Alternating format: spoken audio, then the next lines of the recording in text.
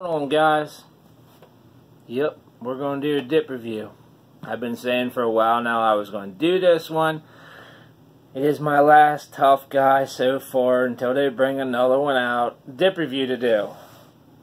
I've been blending some though. You, you guys wait for that because those are awesome.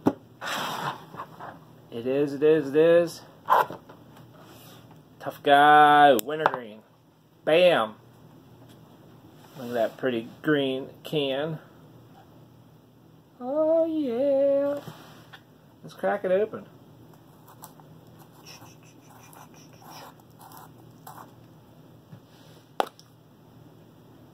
Look at that. Oh. oh my god. Guys, if you guys like those white um, lifesavers, the wintergreen ones, that's exactly, exactly what this smells like, is those white wintergreens. It is that time. Fill them up. If it's not already done, guys, fill them up with me. Cheers. Mmm. Mmm. So good. So juicy. Mmm. Mudjug. Marble. Awesome. Sexy, sexy. Mudjug.com, guys. ToughGuyChew.com. Get you some. Straight up. I've chewed probably 20, 25 cans of this, somewhere in there. Whenever I get my room built downstairs and I can put a shelf up, I got all the cans to put up, all the Tough Guy cans. Can't wait. I got something else coming up too. Um, I got my desk almost done where I took lids and I didn't take tough guy lids because I want to keep the cans to stack them up. But I took all other kinds of lids, made a cool desk. All I gotta do yet is put the epoxy in it, the resin, give me a shiny surface, and she'll be up and running, ready for the office. But that's coming. Bye bye, summer. I'll get everything built up down there. And I gotta put walls in and stuff like that, but it's coming, guys. This is the year I want to take this channel off, man. I'm at like 556 or something like that subs, and uh, I'm telling you, if I can get a thousand subs, nah, you guys are amazing. When I get a thousand subs, I will do a full can of Tough Guy you guys pick. You know, start now. Leave in the comments. I'm gonna do a poll. You guys leave in the comments what tough guy you want to see a full can go down or outlaw. Same stuff, you know. Tough guy makes outlaw. Um, whatever you guys want to see. A full can of. Leave in the comments. Come on. Leave it in the comments.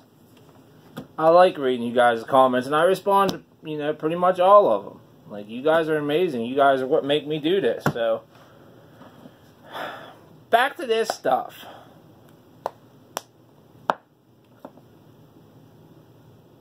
Growing up, I hated wintergreen. It's all my dad chewed. It was my first chew, and uh, I puked it big time.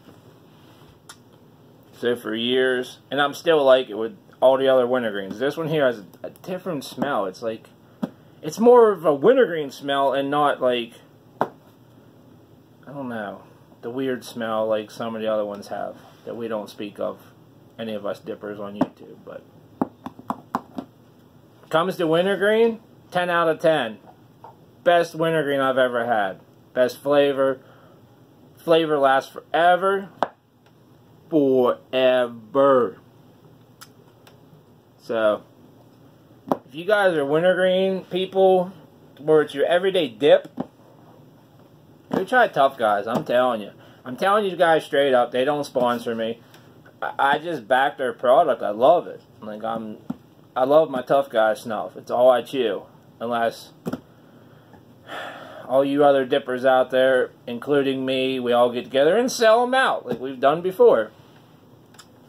Then I go to other stuff. It's usually like side chew. Because I just like the flavor of Tough Guy. I like the flavor like Levi Garrett and stuff. I'm not big on any of the other ones, but straight up, I've tried some wintergreens. I'm not a wintergreen person. I would definitely, if this was like, I, I would chew this every day. But I like my flavors. I like mixing stuff up.